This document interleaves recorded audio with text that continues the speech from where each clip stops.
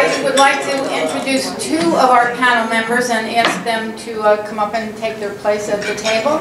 Amanda Bayley of Plan It Wild. Uh, Do you get that? Most wonderful uh, double meaning. Uh, Amanda is a landscape architect, and she co-founded the company with uh, Jeffrey Rothfeder to address the pervasive reduction of biodiversity in the suburban landscape, a serious problem uh, propelled by the lawn culture in America. I think we all know we love our green lawns, but they're not so good for us. Uh, I know up close the passion and abiding commitment to her work, which will be uh, borne out by the projects that she'll describe. Okay, um, Plan It Wild is a new BRI member, so welcome to Amanda. And Dani Glaser, whom I bet the room knows, Dani Glaser. I associate her with the Green Business Partnership. But Dani is also the founder and CEO of Green Team Spirit LLC, which she uh, founded to inspire after discovering from case studies of large global organizations that companies who were successful incorporating environmental sustainability into their core mission were those that combined strong executive support, a diverse green team, and systems for measuring and tracking results. So many of us here do know you through Green Business Partnership, and welcome. I'm delighted that you're here. Um, and Green Business Partnership, as you know, is a public-private partnership between the uh, Business Council of Westchester and Westchester County government. So those are my two introductions, and um, now Jeff is going to introduce Peter. And, all right?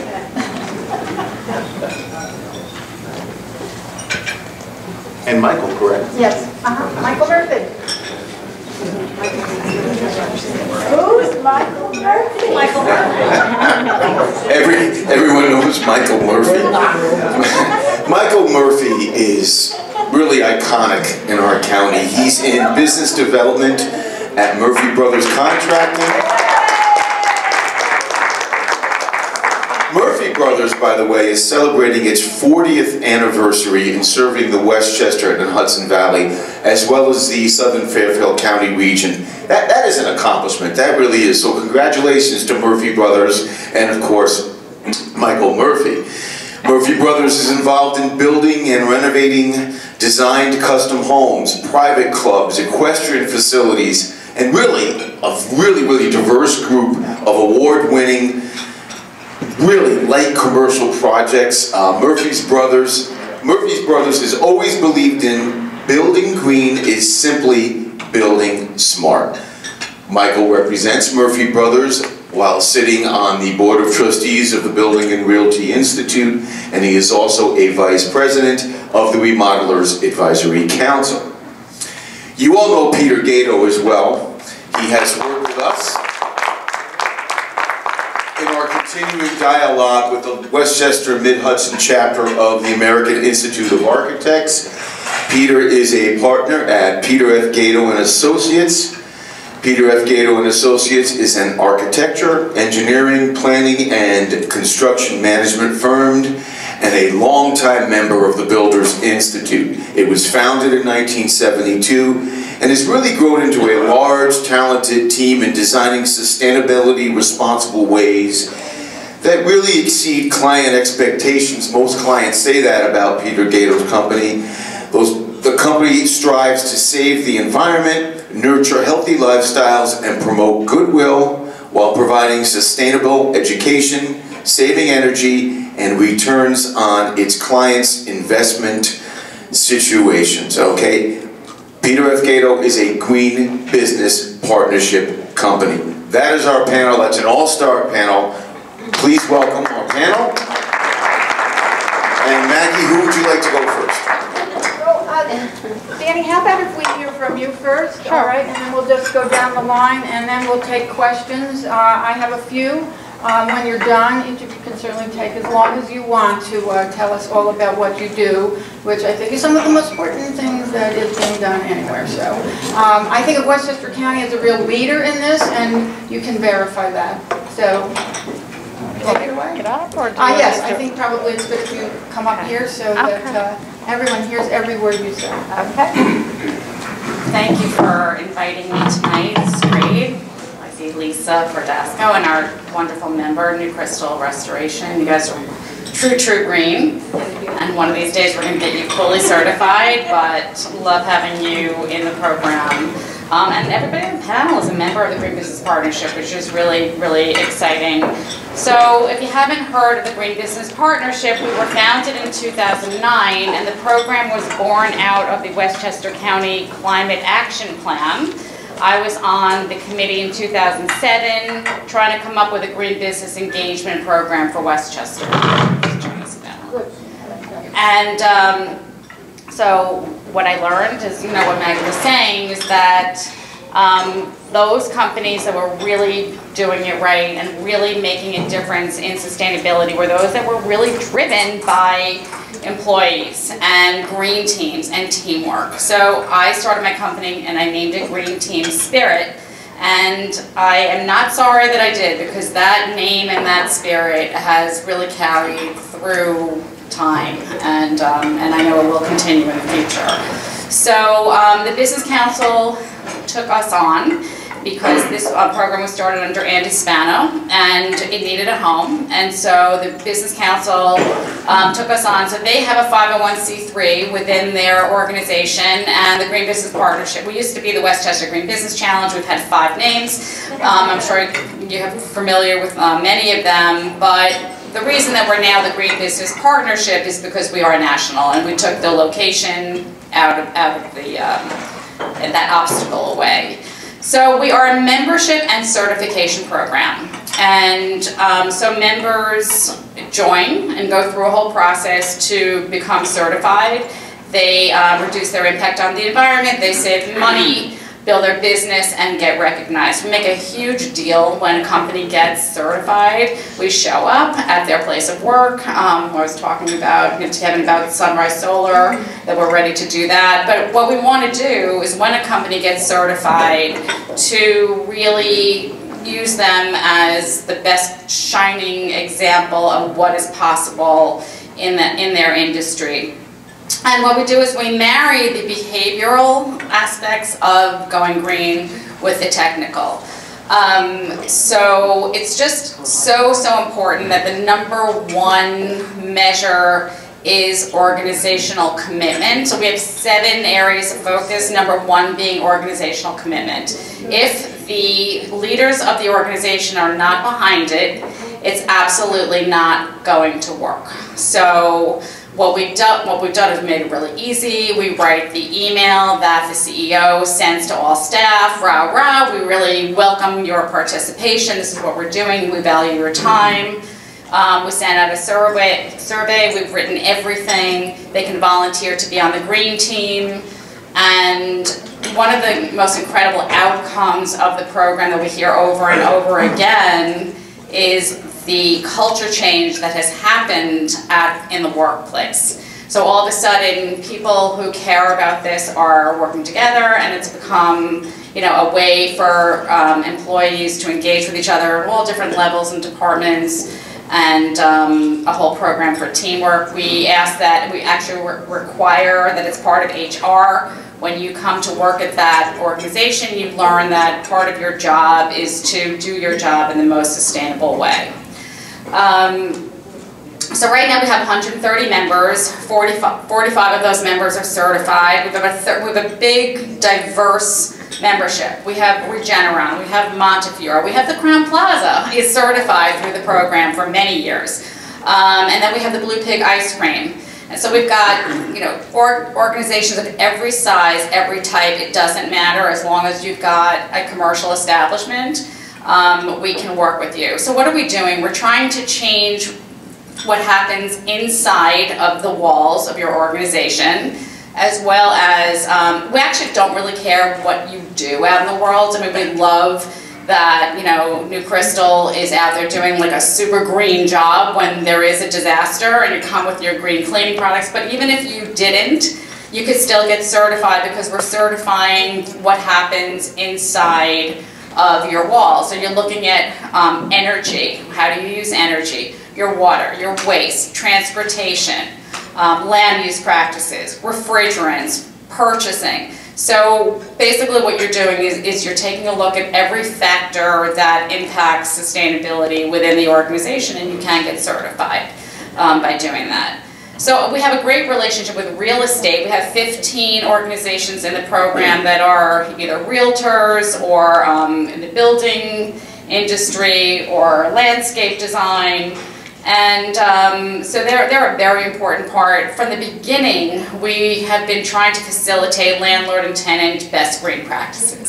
So our tenants, in order to get certified, have to find out, you know, what their, if they're not sub-metered, what is their portion of the energy bill? What is their portion of the water bill? Sometimes they can't figure it out. We, we facilitate them working with their landlord. You get a prorated number. But there's a lot that tenants can do and you know you might not see the big metrics on you know, what they've done but you know what if they have implemented you know water saving practices you know energy sh shutting those lights off you know shutting down the computers at night you know bringing in their own mugs and you know um, not using disposables and those kinds of things. Those are great practices whether or not you can measure them in a big way or not. So we're just constantly playing that game, but real estate and property um, managers and building owners, you know, you guys can take this really, really far.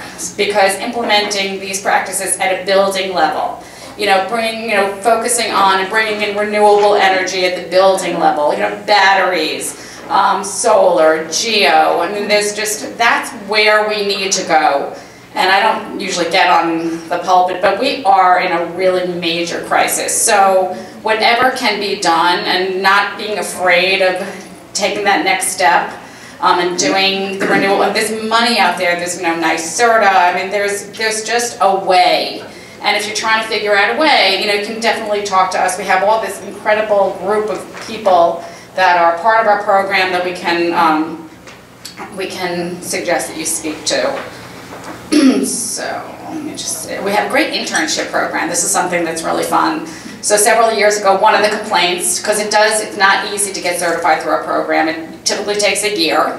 And, um, and so we have a great internship training program. We match college students from around Westchester and beyond with our company. So we train them on how to get you certified. We put them into your business, your place of business, and their focus for the summer or whatever time period they're with you is to go grab those energy bills and those water bills and those waste bills and you know, input the data and help you towards certification. And it's a great win-win because these kids have been getting jobs, they're, they're learning about greenhouse gas accounting, and um, it's just been just a fabulous, fabulous program. We do educational events throughout the year. We do four Leaders in Sustainability Speaker Series at Westchester Community College. We just had a fabulous guy from IBM speak in March. Um, we had Jones Lang LaSalle on stage last December. And um, so we do that four times a year. For members, we do lunch and learns quarterly. We do industry forums. We've done real estate a couple of times where we bring people around the table who talk about the challenges and opportunities within their industry. And June 11th, if you want another date, is the ninth annual Green Business Partnership Awards. So what we do is we celebrate um, our members who have you know, achieved in, in these different categories. River Architects is the big winner of the Charles W. Brown Jr. Sustainability Award in honor of Charlie Brown, who I imagine that many of you remember him. And um, so we give award, the highest award in his name every year. And River Architects is in Cold Spring, they're a passive house design architecture firm. So if you don't know them, you should definitely check them out.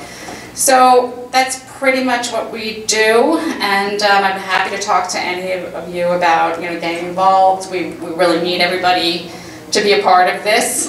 so thank you.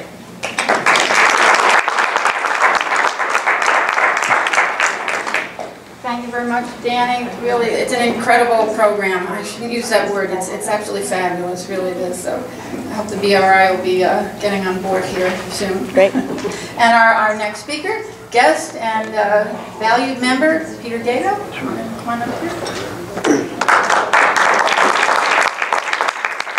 Uh, hello, everybody. Let's see. Thanks Maggie, thanks Jeff, and Albert if you're here, thanks for setting this up, this is great, great panel of course, uh, it really is an all-star group. Uh, I was gonna say something nice about Dani, but she mentioned my comp- competition architect, so I can't, that's off the table. No, I'm just kidding. So, so I, I, we are a Green Business uh, Partnership uh, participant in the program, It's- it really is fantastic, you should check it out. Uh, so it's, it's interesting because the program, as, as anybody here has noticed, it's, it's sort of a, it's a recipe to, to you know, green success is, is a kind of the general, I can categorize it for a second. And then us as architects sort of do the same thing for clients. And it depends where, where the, the drive comes from. Sometimes it's client driven, sometimes it's, it's, it's their occupants driven, sometimes it's uh, economically driven, and sometimes it's um, market driven. So we deal with all different aspects and figure out what makes sense for, for each client. And really what it involves is that, you know, years ago, green building meant just putting a green roof on the building and, yeah, look, I have a green building, you know. So there's so many aspects to it that constitute what a green or sustainable building is that it really, it, it, it's a, it's a unique uh, situation per, per building, per project. Whether it's you, you own it, you uh, lease it, you have a tenants, you, you uh, or rent it out, it's, it's a different scenario. Um, and, the, and the caveats with that are really, you know, catching up to speed in terms of what happens. Years ago, there was the LEED certification. I'm sure everybody knows that word LEED, right? So now there's other, other classifications, other, other ideas to kind of get you through a certification process. So what that's done over the years is really given rise to the, the education of people who want to participate in that idea, or at least understand what that means. The certifications have officially sort of dropped off uh, in terms of registering buildings, but the ideas behind them stand true, and I think because of them, every product and every system and every assembly we, we design and draw is derived from the education to help understand people when I show them something, they, they, they come on an understanding as to what that is and what's going to do for them in the future. So it's really exciting. Um, and then in terms of the product itself, you know, so the, the, there are a lot of economic incentives out there now. Um, there's other things like, you know, trying to get off the grid and, and- or, or rather be, be neutral in terms of the power supply return. Um, reducing of carbon emissions is a huge one. So those are the sort of the, the ones you find. But we're actually doing several projects that are doing very heavily involved with water collection. They're just read throughout. We're doing what's called a blue roof. Anybody know what a blue roof is? No, yes.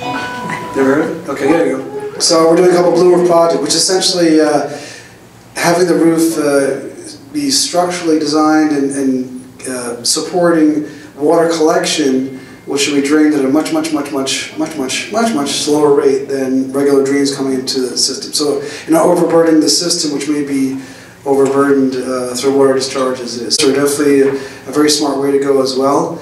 Um, so there's a lot of opportunities in different project types and systems that we help people with lots of, uh, all over the place. So it's an admirable uh, notion to have, but the admiration and the altruistic reasons why you do it are also actually slipped a few places in terms of why people are seeking um, green, uh, sustainable buildings. Among them is healthy occupants and, and, and client-driven and you know those those sort of things. So, and that's what we do.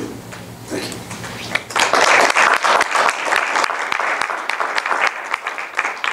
Thank you, Peter. Um, I'd also point out to you that there are issues of impact on your table, and I did an interview, a lengthy one with Peter and with Mike Murphy. So if you want to learn more, please uh, take those issues of impact uh, home with you. Uh, It's a lengthy Q and next is Amanda Bayley of Plan It Wild, Uh, something very close to my heart here, so uh, can't wait to hear what you have to say. So, it's Amanda. There you go. And I, my company is called Plan It Wild. We are not event planners. We are landscape designers and designers and builders of outdoor space. I'm here on the panel to represent the landscaping expert view, especially the sustainable landscaping view. We are in an era of climate change. Uh, that means there's more storms, there's going to be more rain, there's going to be more flooding, more hot days, more drought, the sea level is going to rise. That actually means the Hudson River and the Long Island Sound are going to actually rise in sea level.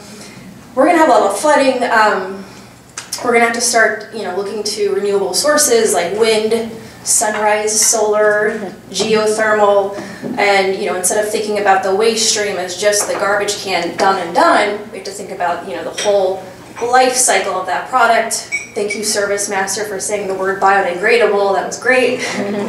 um, and this all relates to this idea of a carbon footprint. So that means, you know, how much carbon dioxide are you putting into the atmosphere? That's your carbon footprint. And once carbon dioxide goes into the atmosphere, there's no way for it to escape. That's why we have global warming. So there's a lot of things we can do to reduce that carbon footprint and draw down that carbon. And using our landscapes is one of the really great ways to do that. Instead of just thinking about smart buildings and how they're so low energy and how they're powered by renewable, let's think about you know, that smart building is surrounded by a paved parking lot. Not as smart. Let's think about the landscaping around that building and how that can, you know, also be considered your real estate for climate adaptation. So that's where I come in. I was going to go through six tips and tricks for sustainable landscaping and also considering always in the background that we're in a changing climate and that should be top of mind. Um, so think of this as you have, you know, a lot of people in this room have lot of um, landscapes, a lot of property, maybe executive parks or apartment complexes, what have you. Just think about how to tweak or modify your landscapes in the context of what I'm about to say. Okay, so number one, use what nature has given you the plants, though not necessarily the invasive ones, and we can have a conversation offline about that for any invasive species people. um, the existing topography and the views. So let's say preserve existing vegetation. You're going to have perhaps a site that you want to develop and there's a lot of mature trees on it. Do everything you can to preserve those mature trees. Those trees, the branches, the canopy, the roots are doing so much to absorb not only water, but carbon too. So instead of seeing them as just things that are in the way of your driveway, see them as really important features on your site that should be protected and let them do their job. Um, there is also an article about the importance of patches or small areas of you know, wooded natural areas and how even those small wooded areas left intact do so much for um, our last you know, rare and unusual species. So try to preserve your existing vegetation and your trees and your wooded natural areas. See these as a resource rather than you know, undevelopable land. Um, which takes me to this other notion of working, an example of working you know, with what you have on your site. You might have um, really cool rock outcrops that are covered in lawn, just peel those back and you have this beautiful, just sitting on your site, this beautiful rock outcrop. You might have a wetland that no one really knows how to get to. Let's create a nature trail and you know make that a really fun amenity. You might have um, a stream running through your property. Let's let the natural floodplain be intact. Let's restore some plants that attract a lot of local species. So an example of that in Westchester County is the daylighting of the Sawmill River in downtown Yonkers. It was a parking lot that they put over the Sawmill River. They just channeled it and they put it into a pipe and they put it right into the Hudson River. No one even knew there was a river under there. And the town of Yonkers was really innovative in um, peeling back that pavement and revealing this amazing natural amenity right under where all those cars were. And they have had such a success with it that we're now moving on to, I think, even phase four. Um, but they peeled it back and they made this a real draw to downtown Yonkers. Downtown Yonkers is slowly developing, I know, it's getting there, but it's getting there quicker and quicker. We have a new brewery that just opened up there. You know, downtown Yonkers is becoming kind of an exciting place to live. We have, you know, groundwork, Hudson Valley, there's a lot of cool things happening there. And that Sawmill River daylighting was an example of, you know, creating that energy there. I'm like running out of breath. okay. like so excited about these topics. I can't even help it. Um, okay, number two, Don't run off. Retain all of your stormwater on site. This could include a gray system of underground chambers and drains. It can include a green system of planted garden, rain gardens and swales. It could be both of those working together. Whatever it is, just be a really good land steward and capture all of that stormwater and don't let any of it run off from your site boundaries. Just keep it all on site because you're going to really be reducing regional flooding. And again, we have to start thinking this way as we enter or are already in a climate crisis era. It's going to be an original investment to set up that system, but down the line, when all the properties are flooding around you, you where's the water? I don't know. Oh, actually, it's underground in our green and gray infrastructure system. Thank you. um, an example of this is the Westchester County Center parking lot in White Plains. They have um, all those grass swale medians in the parking lot that capture the water and direct it into detention wetlands. They also have underground stormwater chambers. Um, so I think that's a really great example of retaining your runoff on site. Okay, number three, pave less, which relates to retaining your water on site. The water's got to permeate. Where's it going to go? So we just have asphalt surfaces and concrete everywhere that's not a place for the water to go. So use permeable asphalt, use pavers set in sand, and do whatever you can to let the water permeate. The, an example of this was at the Hastings on Hudson lofts at Saw Mill, where they used permeable pavers, and it actually was a really nice amenity um, because the pavers have like a nice look to them. So you don't have to do all of your asphalt replaced with permeable. You could just even do, you know, certain amenities replace it, but start somewhere. Um, okay, two more. Number four is to use native plants. Choose native plants as they are low maintenance and drought tolerant. Everyone throws around this word native. Does that does everyone in this room know the word native? Does that ring a bell? Because perhaps five years ago it didn't. So there is this movement called the native plant movement, which is why Plan It Wild is so successful, because people are wanting to use native plants. The word native, what does this mean? Uh, it's a plant that reproduces on its own without intervention. A native plant survives with minimal human care. There's no need for fertilization. There's no need for pruning. You don't have to use pesticides or herbicides with native plants uh, native plants have co-evolved with other plants and animals in the region. So, for example, you have flowers that have pollen and nectar. Bees need the pollen and nectar. That, that's how the plants can reproduce. That's a co-evolved relationship that took thousands of years to develop. So when we use native plants, we have a pretty good uh, assurance that we're going to be helping a wide diversity of other species with all these interrelationships that have developed over many, many years.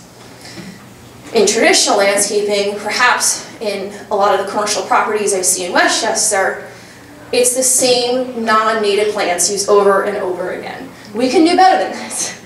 I'm not even saying, like, we can just switch out a boxwood and put an inkberry. We can um, switch out a forsythia and use a spice bush. The forsythia is the yellow one flowering right now.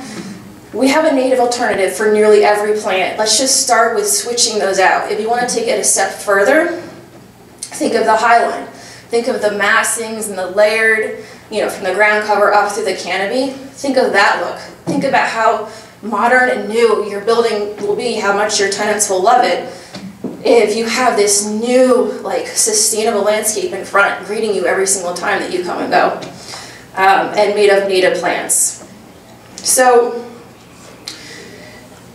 okay, so a great example of this is Tarrytown, the Tarrytown train station um, that was done by, I think it was the developer National Resources in tandem with Scenic Hudson, Friends of the Riverwalk Tarrytown, the Village of Tarrytown in Westchester County have gotten together and made this beautiful outdoor space. I, I recommend everyone in this room go perhaps in June, take a walk.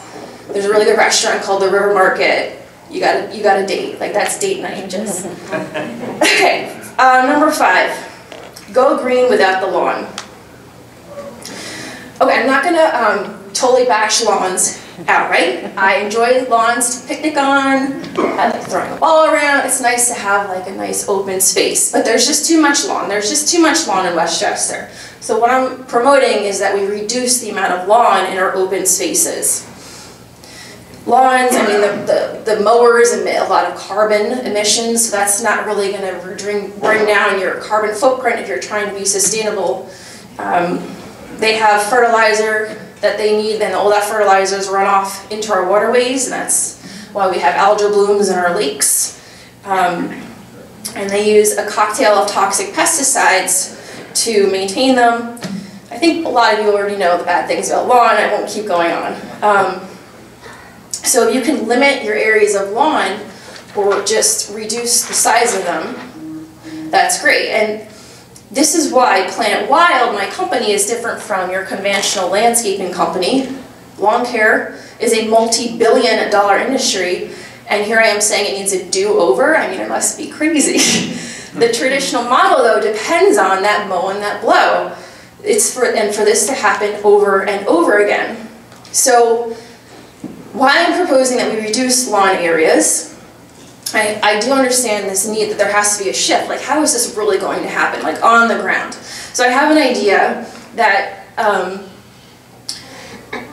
how the lawn care crew could transition into doing this kind of more native and sustainable kind of work instead of the mow and blow. So very quickly, native plant plugs are small baby plants. They're small, they're easy to plant, they're a lot cheaper than the standard size at the nursery. We used plugs all the time when I did habitat restorations at the New York City Parks Department, restoring wetlands and natural areas. Okay, so you have this idea of this plug. The mow and, crow, the mow and blow crew is at your property. This crew, though, happens to be Team Go Green, and they were trained by Plan It Wild and how to replace lawn areas with native plant plugs so every week that Go Green team shows up at your property, that's fine. Someone's going to be over there mowing the lawn. That's fine. But this team, this these guys over here are going to take this, you know, half of here and cover it with a weed barrier, biodegradable weed barrier, and then plant plugs in this this rectangle. They're just going to do like say 500 square feet, and they're going to do that say once a month. So by the end of the year, they keep adding, they keep adding, they keep adding, less mowing, and then you have more native plants, less lawn, they're still, everyone's still working, everyone still has jobs. Um, so that's just something to consider to, you know, break through the, the traditional mow and blow uh, landscape model.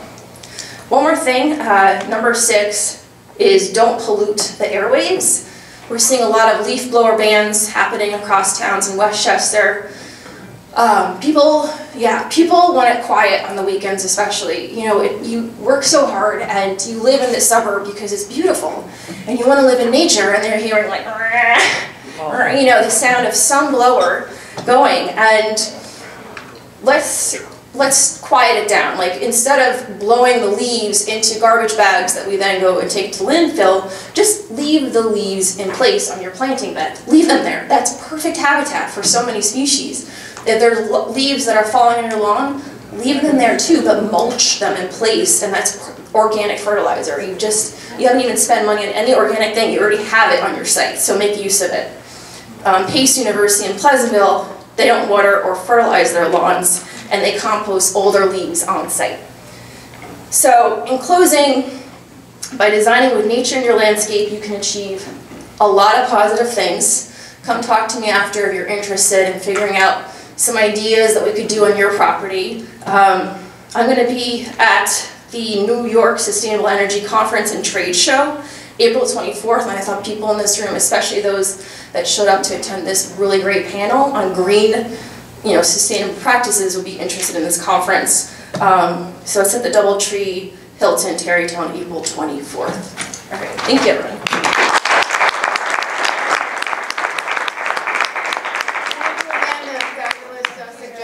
All six of them. And I just want to mention the Arbor Day Foundation, right? If you join the Arbor Day Foundation, which has been around for decades, uh, for very little money annually, they will send you 10 trees, which look like sticks. You know, they're just seedlings, but you plant them and you start growing 10 trees uh, if you have the room. So anyway, thank you again. And Michael Murphy, delighted to see you here with us.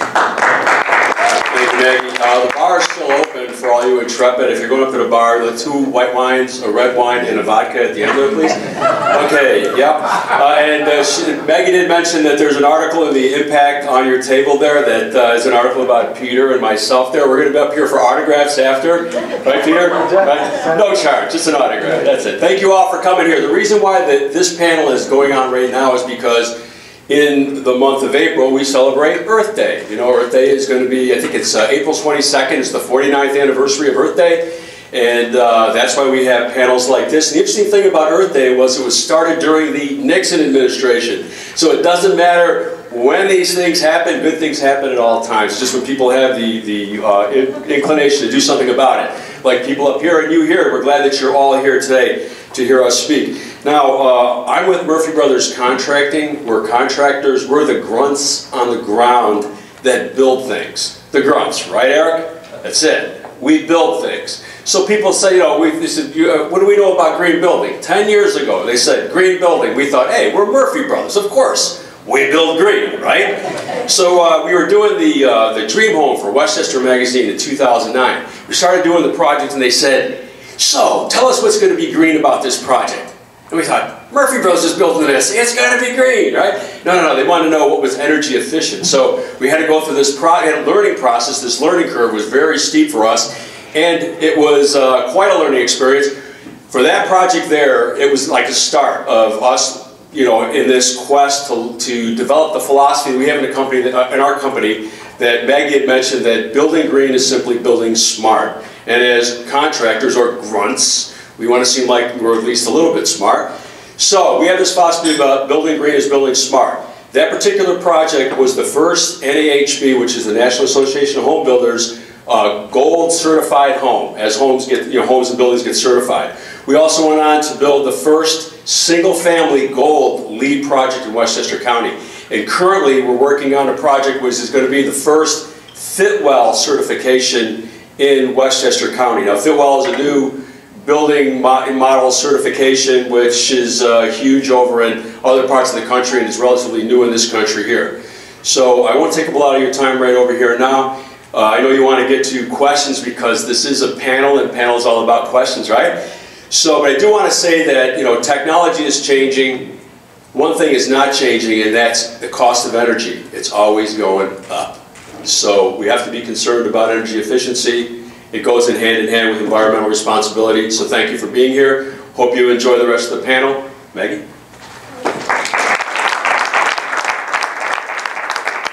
Very well, let's see.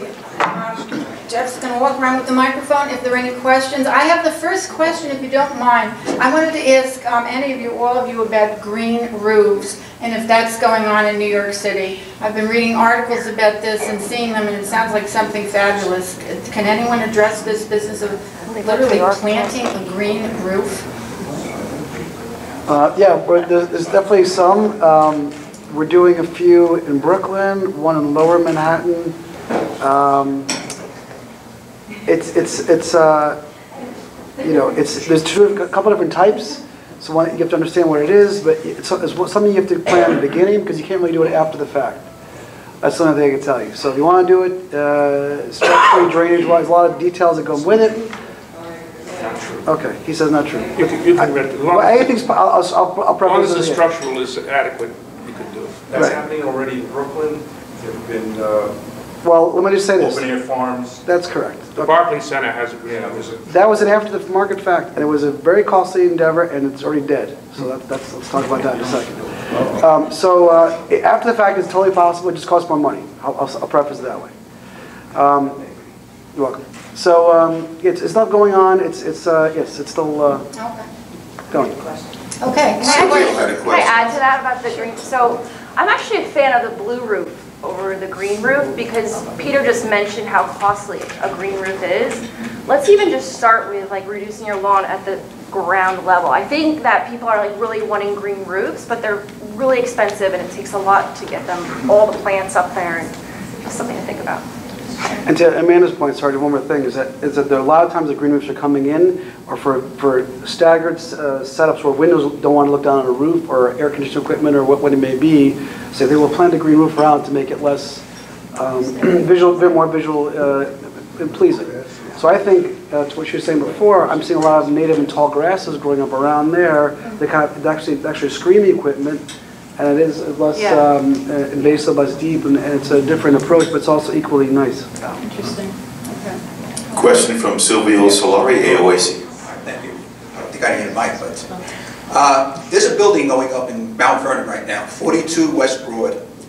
And by looking at it, it has, first of all, it has gotten no attention from anybody, not even the media, but I think it's going to be one of the greenest buildings in Westchester. Uh, The builder is predicting that the savings will be 90% after they put all the systems in place, be 90% efficient. Uh, One of the systems they're putting in place, which I thought was quite unique, was cogeneration. They're going to have a generator in the building, which will generate electricity, and the heat from the generator will be used to heat the hot water and heat the building. They're predicting a comparable building, they will use 10% of the energy of a comparable building. The question is, is that possible to achieve 90% efficiency? And what do you think about cogeneration? Well, with cogeneration, we've done a number of cogeneration on the residential side.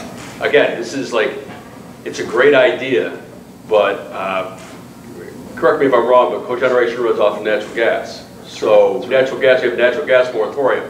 So if you want to do natural gas in your building, think again, you're not going to Well, do he's it. already has the He Has, he has the approval for that. Unfortunately, you can't do it down here. Unless it's Right. interruptible. Well, there's, there's an exception there. If it's interruptible, if you get an interruptible Sure. line, then you can Yes. do it. You have to have it, what, you have to have the, uh. You have to have another oil. alternative fuel, yeah. Right. That's the problem with all green energies. They don't work 24/7, they're not Well, base load. The other part of the question, is it possible to achieve 90%? I mean, uh, yeah, in in theory, yeah, it- it's it's usually not one item that does No, it's the not. offset, it's a combination of things. So solar does some element, uh, geothermal, we're doing a lot of buildings now because of the moratorium. Um, That's another element that can offset certain things. Um, So you have a combination of items that work together as, as a system. So not one product is gonna solve all that, but yeah, the, a lot of the numbers are, are slanting towards it. I think in the next 10 years, you'll see a lot more projects uh, aiming towards 90% or, you know, efficiency rates. So there's definitely getting there. Go ahead, Jeff. All right, I wanted to just comment on the green roof, the question. I've been involved in projects with green roofs, and one of the, I couldn't hear, so maybe you said it, but one of the advantages of these green roofs was there's a special type of plant, it's called sedum, um, that we in it. And you don't have to really do anything to maintain it, it's like a wild type of plant. I talked to Amanda, we were talking about it one day. Um, The advantage of this building, it's a high-rise, is that it makes the building uh, cooler because the roofs get very hot when the sun goes directly on the roofs. So now it hits the plants instead of the roof, so it's a natural coolant. And also it catches the water, so instead of the water hitting the roof and running off into the environment, it's going into the plants. So those are the real nice advantages of the green, of the green roof from my experience, and it does work.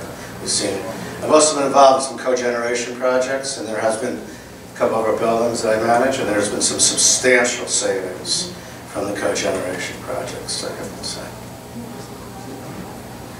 Okay. I don't know where to go first. We'll go to Amy Cohen first. Uh, This is a question for Amanda. Um, You have wonderful ideas, but I have a question which I think you've thought about, which is how do you um, train or get the lawn maintenance companies trained to be amenable to your ideas? Right. So, I have an idea for that.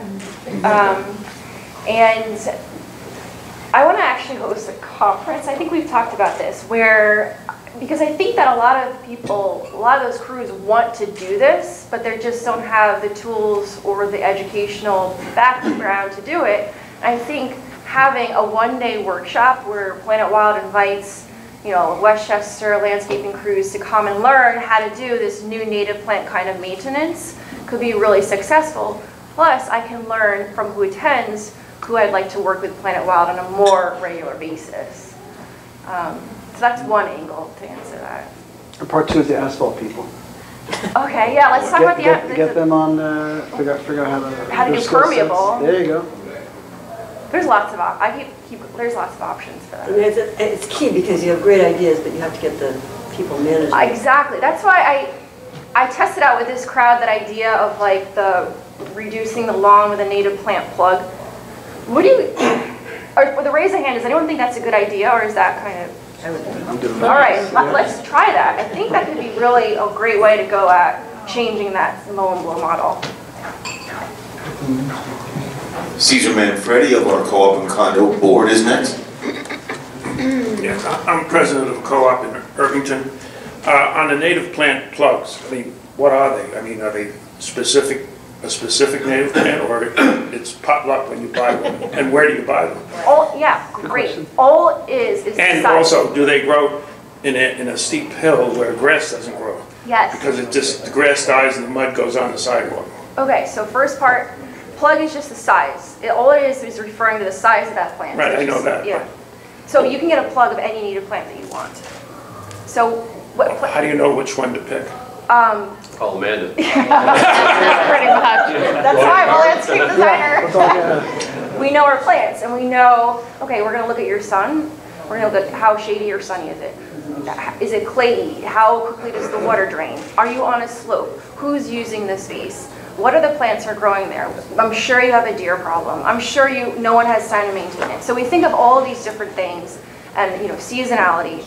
And we come up with a customized, you know, problem-solving landscape plan for your property. I got it, okay. And I like, I- the Luckily, one of our shareholders is a landscape uh, person, expert, uh, arborist, I guess you call him. So that, I'll- I'll- one, one thing to be clear, though, the plugs, though, I just said every native plant, which they could, like you have saplings of the trees, but the plugs are primarily your herbaceous material, so your grasses and your flowers, just to be I'm not looking for trees, I'm just looking for. We're on the same page. Ground cover.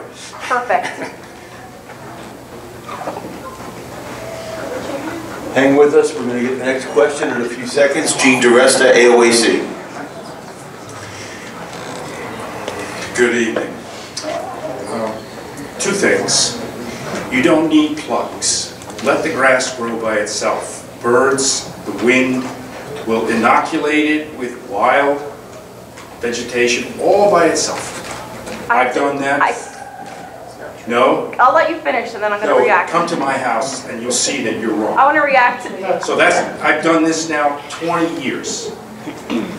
My Are you a neighbors are landscape designer? infuriated because they hate the dandelions. Right, so that, that's how I've been doing it for about 20 years. It works well. The other thing is with regard to the roofs, whether it be green or blue, let me propose a very simple alternative to either of those two. Make it reflective white so that the solar radiation bounces back, which is what's really needed in terms of reducing the heat input into the earth. White roofs, reflective components within tar.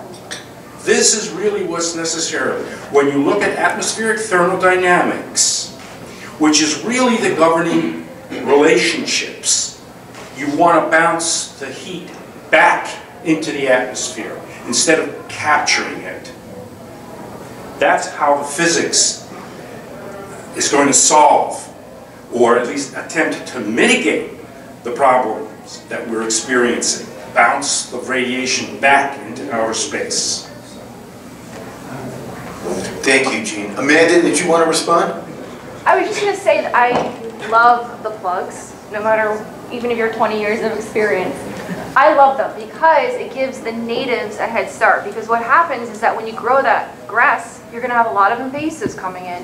What happens is that you have a monoculture of invasives, and we really wanna add to the biodiversity. And when you plant with a plug, it gives it a head It start. happen by That, that was my response. Birds, squirrels. I'd like to, if you don't mind me, I'd like to respond to Gene, just to say that this is interesting. You see, this is what's happening in the, the building fields. Used to be you just accepted this is the way it was, everybody does same old roof, same old door, same old window, same old tile, same old everything. Running business is the same way, but now everything's up for grabs. And, and we're learning that some things are good, and some things are really good, and some things aren't so good. And some things are So- good and cheap. Yep. And you can So, change an existing structure by just putting a white roof on. When it's time to change the tiles, instead of going with sexy brown or speckled tiles, put white. Okay, we have a question here, Maggie. Hi, I'm Maria Carsu. Um, I'm on the Committee for the Environment, Emma Marinick. And I, I- I don't know, we've tried with the landscapers and the leaf blowing and, you know, finding them. And I, I don't find that that's a solution. I think we need like a broad, like homeowners need to just draw the line. And do you have any programs like that where you can reach large amount of homeowners?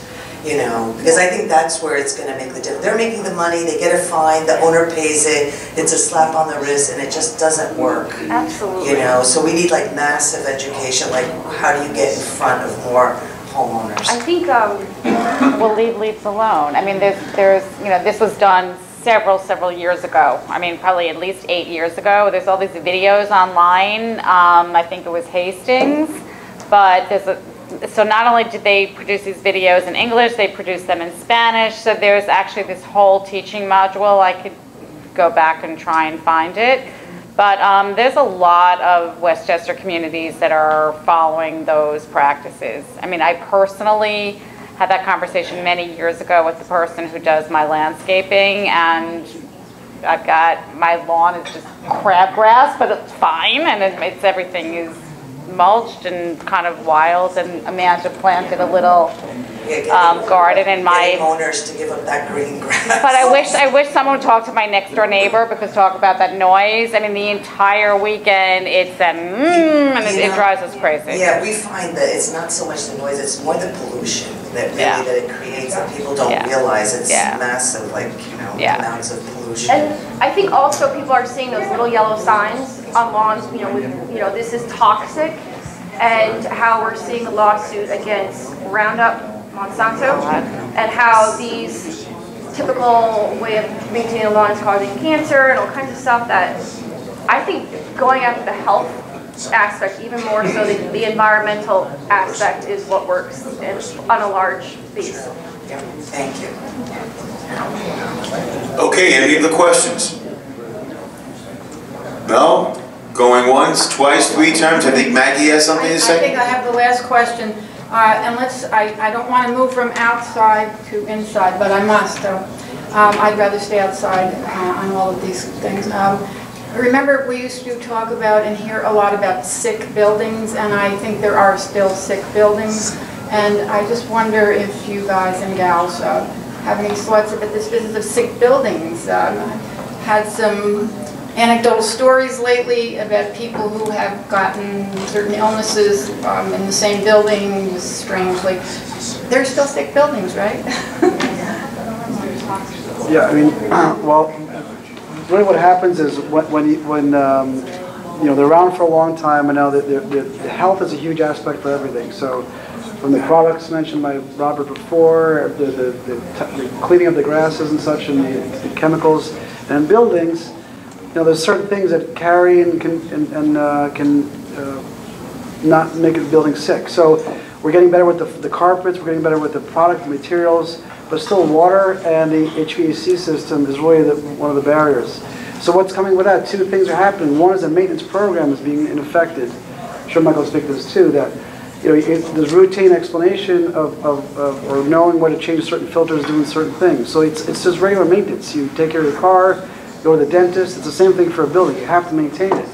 And the second thing what's happening is technology is also coming in with it. So there's a lot of uh, BMS building maintenance systems which come in, and that there's constant monitoring. So it's uh, it's you do it from your from home, from your iPad, or your phone, or um, and there's ways to check in and check check on the air quality of the building as well as what's happening with, with, with routine maintenance. Um, if anybody's a member of uh, a lot of any facilities people understand this because you constantly keep, keep a check of things.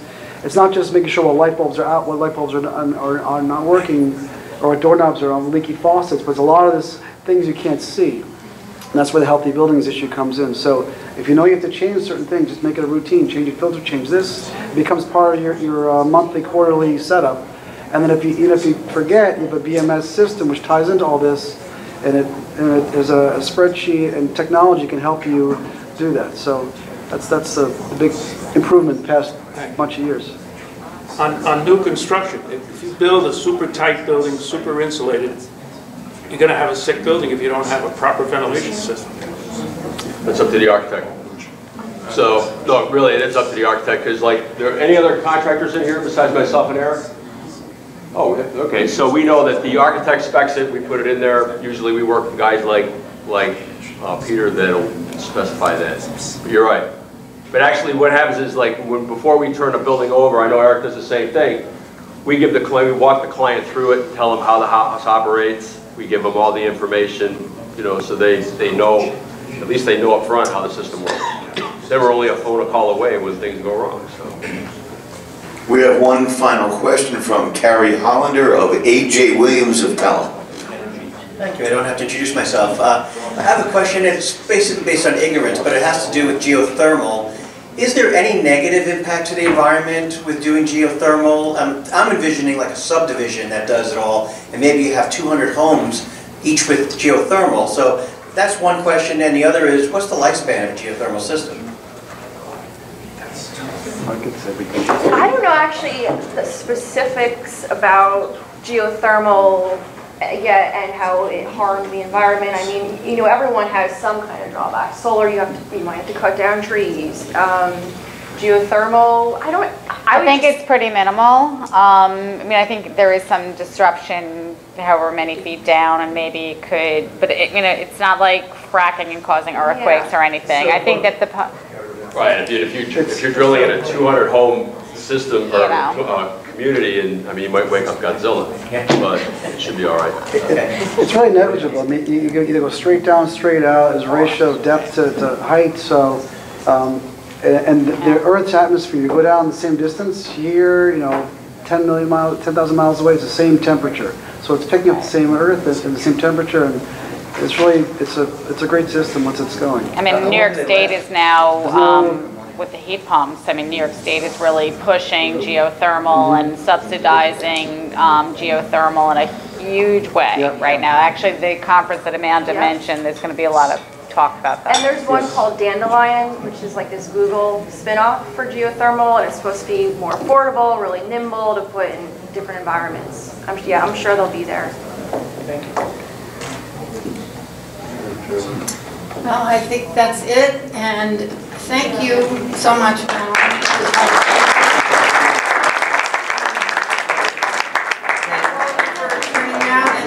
really enjoyed it and learned a lot. We hope to see you at next month's general membership meeting on May 22nd. And please join us on April 26th for the 40th anniversary of the Co-op Condo Council. Have a great night. Safe home, everyone.